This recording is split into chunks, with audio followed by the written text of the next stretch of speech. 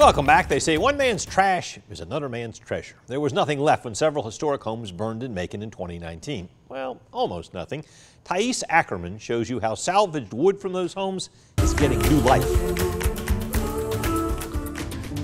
Marvin Riggins says around 9 o'clock Wednesday evening, firefighters responded to a fire that broke out across two homes. Not this house, but the where a house stood next to it um, in early summer of last year, 2019, uh, caught on fire. Those flames eventually spread to a third house near the corner of Orange Street and High Street. Unfortunately, I've had I have had to uh, send four firefighters that were uh, injured inside of this fire uh, to Navicent Healthcare at this point in time.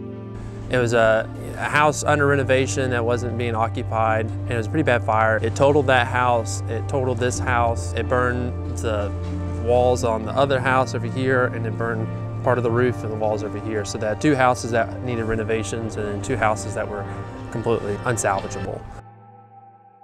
My company, it's actually two companies. I have Blight Busters, which is my, my demolition company that actually salvage the wood out of these houses. Georgia Artisan, we sell reclaimed furniture. Um, so we sell tables, chairs, beds, all kinds of stuff made out of reclaimed wood coming out of houses like this. This is our 11th house in Macon that we've uh, torn down. Most of them are smaller houses that have been blighted, but these houses were unique in the sense that, like this house, people were living in it in the past year. This wood is going to go to our production shop and it's going to dry. It's going to go through uh, an inspection period and it's going to get the nails pulled out of it, cut, and built in the next eight weeks. And so we'll be delivering this stuff. This kind of wood is going to have more of an indicator because it's going to have some charred marks on it. For the next uh, three or four months, we'll, uh, our furniture will be made from this house uh, alone.